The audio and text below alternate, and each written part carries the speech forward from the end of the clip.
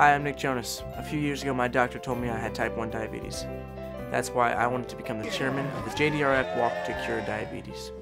JDRF is the world's leading funder of diabetes research, and the money this walk raises goes directly to new and better treatments, prevention, and a cure for this disease. Join me and be part of the cure. Go to walk.jdrf.org or call 888 533 WALK.